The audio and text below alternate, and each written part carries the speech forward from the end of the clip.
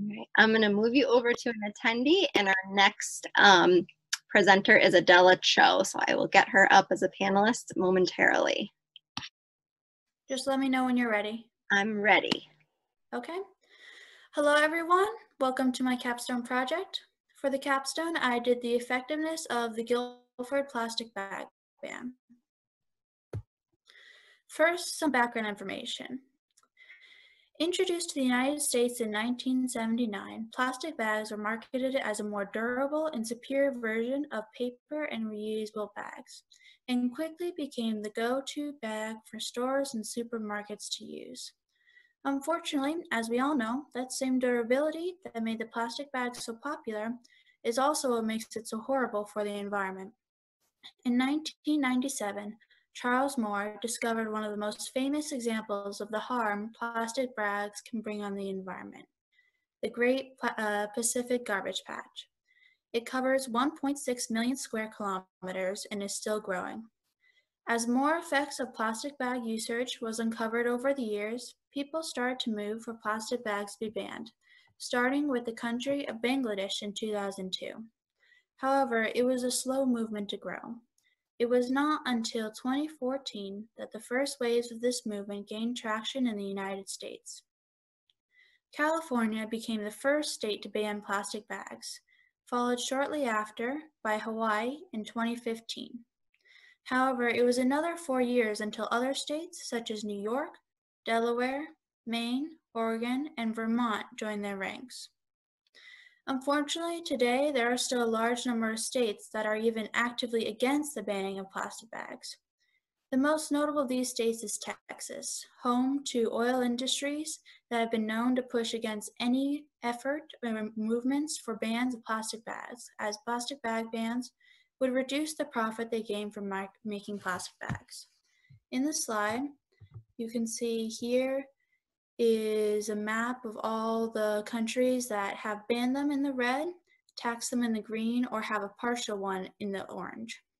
And in the second picture, you can see which states have uh, banned, including Connecticut over here, and which states are against. Next, let's look at the Guilford Town Ban and the Connecticut state law. The Guilford Sustainable Task Force began talks about a possible ban in early 2019. And after a meeting in May 28th and a unanimous vote by the Board of Selectmen on June 3rd, the Guilford plastic bag ban was passed and set to go into effect on January 1st of 2020. The ban prohibited the use of single-use plastic bag by stores and placed a 10 cent fee on paper bags. According to Terry Main, Terry Kane, my mentor and task force co-chair, the paper fee was an important component. The task force's goal was not to cause people to switch from plastic to paper bags, but instead to reduce the usage of single-use plastic bags, bags in general, and with that, their carbon footprint. Although paper bags are slightly more environmentally friendly than plastic bags, they still have a carbon footprint. It is easy to confuse the Guilford Town Ban and the Connecticut state tax, but the distinctions are important. While Guilford banned plastic bags and placed an additional fee on paper bags in 2020, the state took things a little bit slower.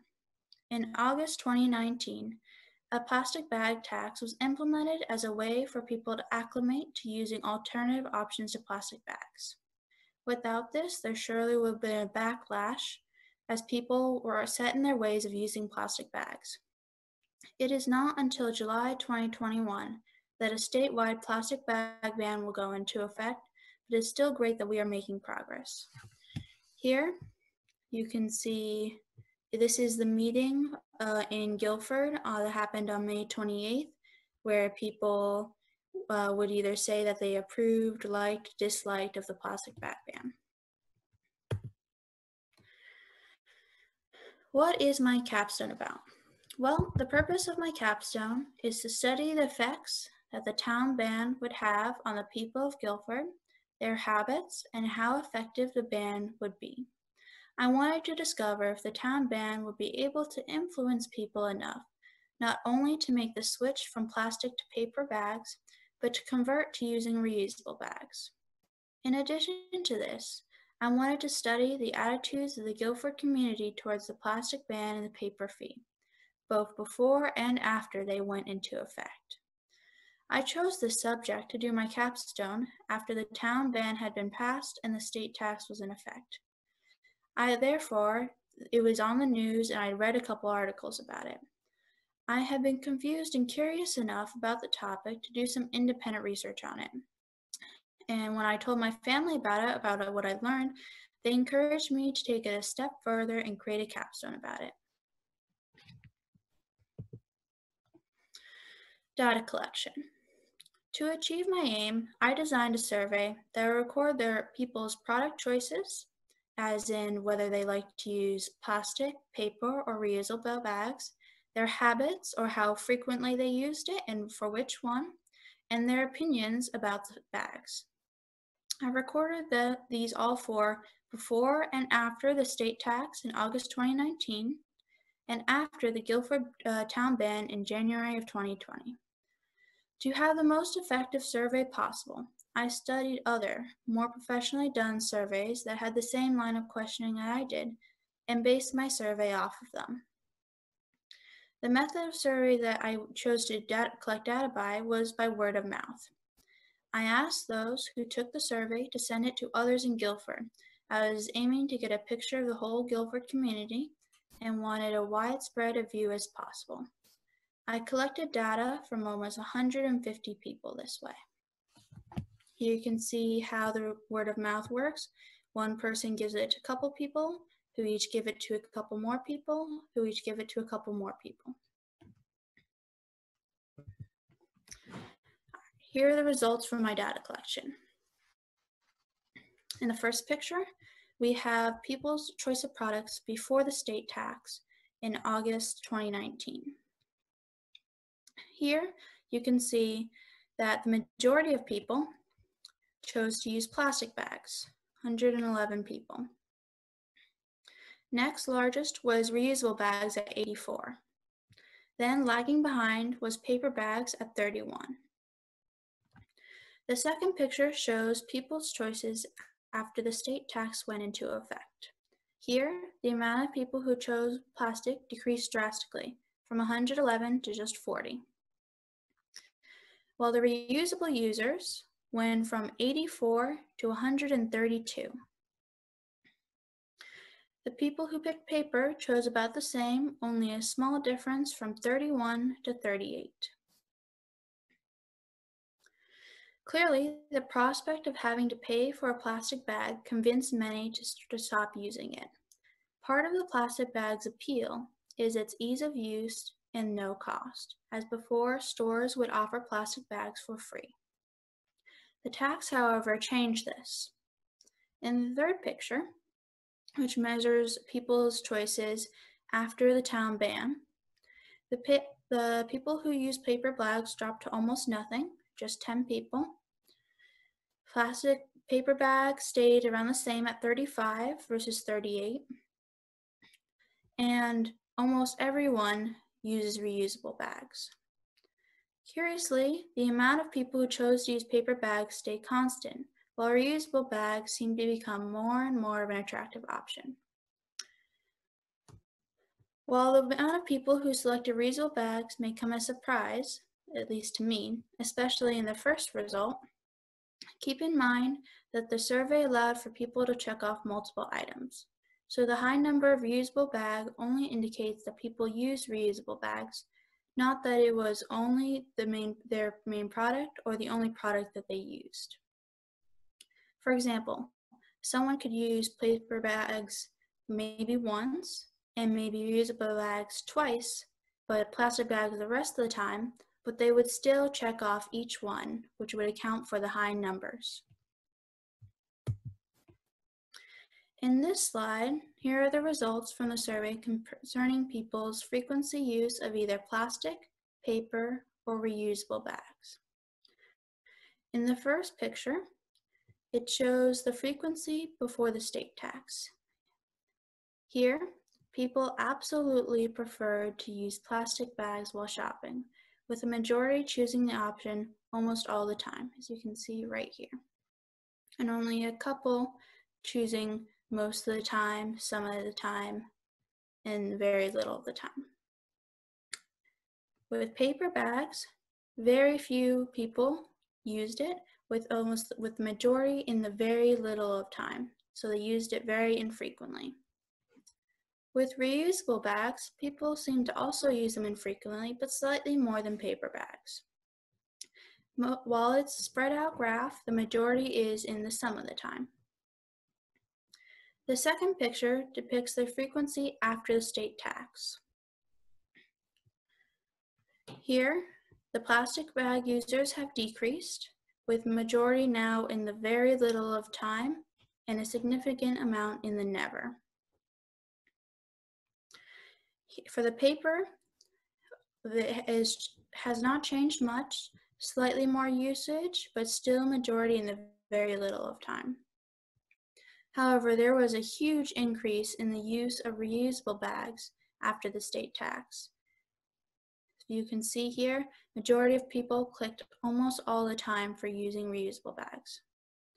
Finally, the third picture presents the usage of the bags after the town ban and shows almost no use of plastic bags, a little bit yes, less use of paper bags, and people choosing to use reusable bags almost all the time. To sum up, if you look at both people's product choices and how frequently they chose to use that product, people used almost entirely plastic bags before the state tax, while occasionally using reusable bags and almost never using paper ones. The state tax, surprisingly, proved to result in the most dramatic change in people's behavior, as opposed to the town ban. It reduced the plastic usage to almost none, and the plastic and the plastic town ban stamped out all the rest of the stragglers who are still using it. Anyone left who still used it would have had to go to another town in order to get plastic. Another surprising result was the preference for reusable bags over paper. Well, normally that could be assumed here because this is after the paper fee went into effect, so people might be less likely to use it. But still, people seem to almost prefer reusable over paper even before the fee came into effect. Next, I'm going to show you the attitudes of people and if experiencing the laws in effect made people love it or hate it. Here are two pie charts comparing people's attitudes before and after the Guilford plastic bag ban went into effect in January of 2020. Here's the before pie chart. Here you can see that the response to the plastic bag ban was almost overwhelmingly positive, with almost 75% of people in support of the plastic bag ban and 50% of people in the strong support. However, and most of the people who did not approve were in the fence or on neutral, with only a small portion disagreeing with it. In the after pie chart, there is only a slight change, with a small increase of supporters as some of the fence sitters changed side to join the support. You can tell this because although the fence sitters number decreased, the only the support side increased, while the number of those who disapproved remained the same. This indicates that after experiencing a life without plastic bags, the community remained positive and in support of this ban, with some of the fence sitters even being swayed to the supporting side. Next, you can see the data of people's opinions of the paper bag fee that accompanied the plastic bag ban in January 2020. This one proved to be a little more controversial. While the plastic bag ban re uh, received almost overwhelming support, the paper fee had a much more mixed opinion. Only 48, uh, 48% of people were in approval of it, with a whopping 23% neutral and another 27% uh, in disagreeing with it. After having to live with this fee, almost no one's opinions changed. There was still half in approval, a good chunk quarter in neutral, and the rest in strong or just disapproval.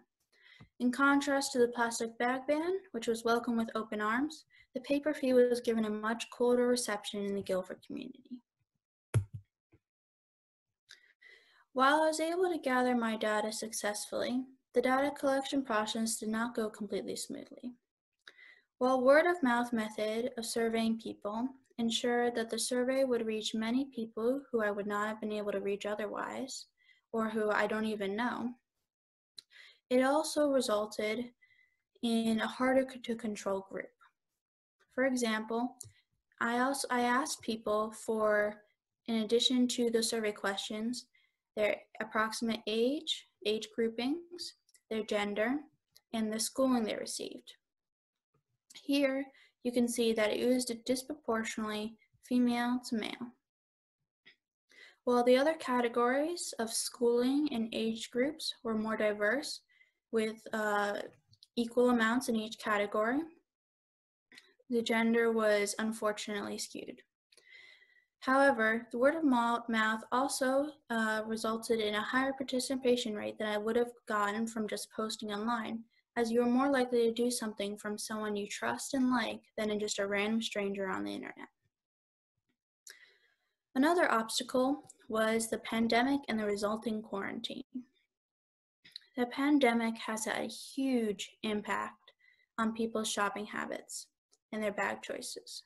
First, People in quarantine will only shop when necessary, as they want to stay safe, which is good, but also makes it very hard to do data collection on people's shopping habits as it's changed from such dramatically. Disease is at the forefront of everyone's minds, and as a result, people who were initially for plastic bag bans might have been swayed or use it anyway, no matter the environmental impact, in an effort to stay safe. For example, in places like Texas, where bans are being pushed or are starting to gain movement, the oil companies took the quarantine as an opportunity to stall these bans, and the momentum has almost completely ceased. Here you can see that people, 32% visit stores less frequently, and 22% buy things more online. This results in less use and a disruption, so I was unable to do a second survey. Ordinarily, I would have done a follow-up survey in order to see how the ban in interacted with time, to see if more people would like it, dislike it, or become neutral after a certain period of time. So in the end, was the Guilford Town ban on plastic bags a success or a failure? I would say that overall, after looking through all the data and analyzing it, that the plastic bag ban was a success. The ban, with the help of the state tax, dramatically decreased the usage of plastic bags while seeing a huge increase in the usage of reusable bags. If you uh, remember earlier when I mentioned Terry Kane, she mentioned that the goal of the Guilford Sustainable Task Force was not only to reduce plastic bags and their carbon footprint, but also to increase the reusable bag usage, as, as paper bags have a carbon footprint as well. The paper bag fee, however, was the one downside. If it can be a called a failure, that would be the only thing. It was not particularly welcomed by the community and might have made some people's lives harder. My experience. Overall, I would say that my experience with the capstone project has been an overall positive one. There are definitely aspects of the project that I would change if I had the chance to do it over again, such as some parts of the survey that I would fine tune, but hindsight is 2020. For example, in the survey, I gave people the option to put other and describe their opinion or how they did it. Unfortunately, people just ended up writing in sentences a longer version of what I'd already given an option for. And I had to take out some results because they were simply just not relevant. Other than that, I enjoyed researching a subject that I could choose and therefore interested me. And the top the the thing that the topic was a current issue, as in still going on today and will continue to, was only a bonus. Doing this kind of long-term project was a new experience for me. Previously, the longest project I had ever done was a research paper for school that only lasted a couple months. Doing a year-long capstone project could be stressful and came with new problems I've not experienced before, like keeping up work and managing things for a whole year instead of just a couple months. But it was a valuable experience that I know I will uh, take and use in the future. Here are my sources. And I would like to thank my mentor, Ms. Kane, my advisor, Ms. Chiappa, my guidance counselor, Ms. McDonald, and my family for helping me with the capstone project. The end. Any questions? Nice job, Adella. Do you want to just come back um, to the screen? You could stop sharing and we could open it up to questions and comments. Okay. Very well done. I'm really, really impressed with all your data and the detail. Um, I'm so glad that you ended up doing it as a full year project because I think it really gave you the opportunity to be able to get into that detail. And um, as much as it's been um, a very terrible experience going through this pandemic, it's really interesting how that kind of folded into your project and how you're able to use that data, which is so relevant and so um, timely right now with all of this. Yeah. So, um, really, really interesting. So I Thank will. you. You're welcome. So I will open it up to questions and comments. Um, our first one is from the first selectman, Matt Hoey. How do you think the temporary repeal of the ban because of COVID-19 would have would have been perceived? I think a temporary ban most likely would have been received positively by the public, if only because in the past couple of months, people's priority have been proven to sh- been shifted from environmental to safe. I actually disconnected to do something I was doing in my psychology class. He had us look in the attitudes of people in times of great crisis. People tend to become more not selfish but self like um, looking out for yourself protecting yourself and your family so if they say all right well if it makes my family safe they would be willing to use plastic bags for and not really want to deal with the long-term effects they'd see i just need to keep my family safe and then i can deal with environmental concerns Yeah, good answer. And I think that that's really true is that those things definitely were put on the back burner because safety tended to be key right now. Um, Mhm. So I agree with you. See if there's any other questions. Not yet. So what are next steps for you? Are you do you plan to continue your research ar- along this topic? Do you have any plans to study um, any environmental awareness in college? Well, I'm currently uh, set on a major for environmental science in college right now. And well, in quarantine, I'll probably definitely be keeping an eye on the plastic bag usage, if only for a lack of other things to do. So I'll definitely be keeping on touch with this, but I don't know how in depth my research would be when- once college starts. Sure. It'd be really um, interesting to do kind of a comparison study next year as opposed to this year with everything that's been going on to kind of look at your data.